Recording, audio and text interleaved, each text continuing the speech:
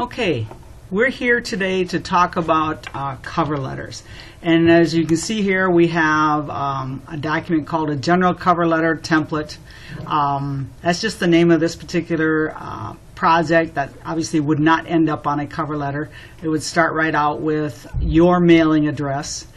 In this particular case, I really like this example because um, as you read through it, you'll see that it's not a case of, okay, I'll change this and I'll change that, and then it becomes mine, which of course leads it to everybody's letters looking and sounding the same. And that's not possible with this particular one because each area tells you what type of information belongs in that area.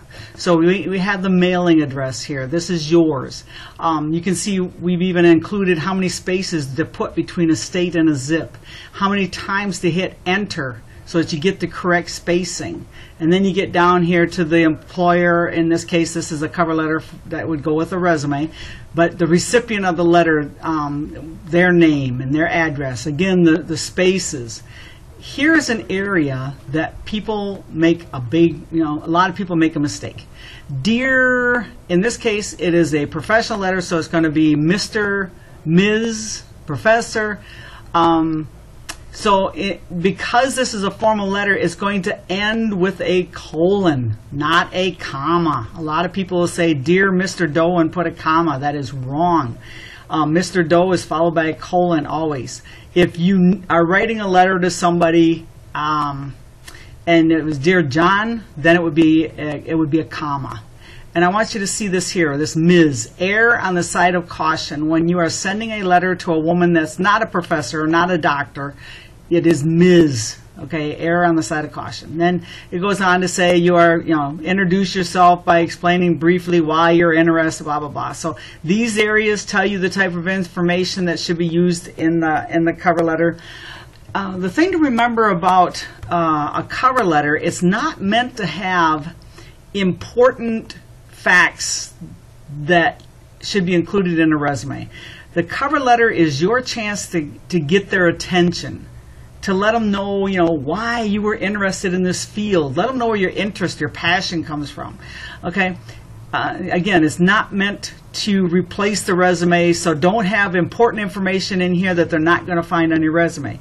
Because in my years of working in career services, I had employers tell me, not not all, some employers say that they didn't read the cover letter unless they were confused about what you were looking for.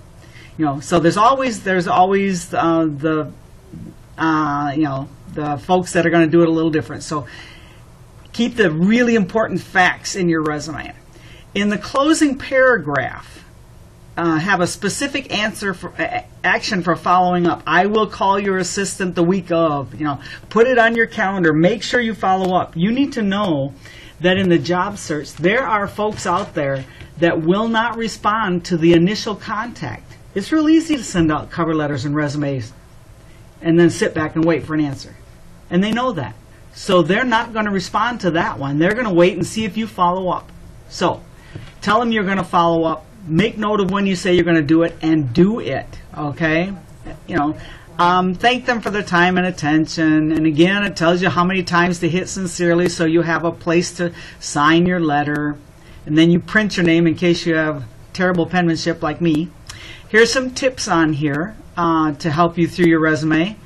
uh, I mean, through your cover letter. So, um, you know, follow those, and with you should have no trouble completing this project and having a, a good, strong cover letter. Okay.